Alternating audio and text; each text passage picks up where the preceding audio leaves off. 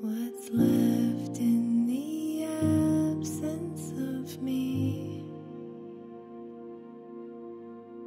Since the beginning, this project has been about freedom freedom of expression, freedom of exploration, freedom from the rules of the music industry, freedom to experiment with whatever ideas come into my mind.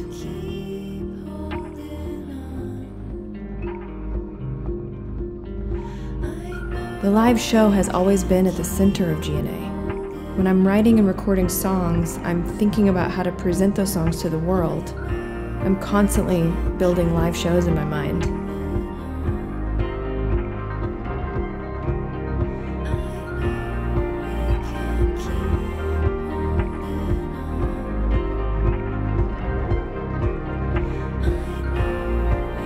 This show is all about authenticity, connection, honesty, vulnerability. I'm not interested in trying to sell people on my identity.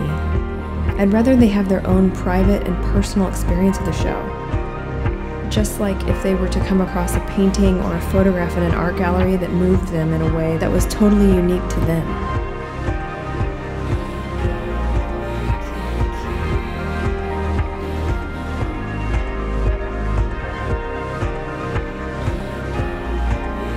I hope that people will leave this show feeling that their hearts have been opened up, that they've connected to something deep inside themselves, something real.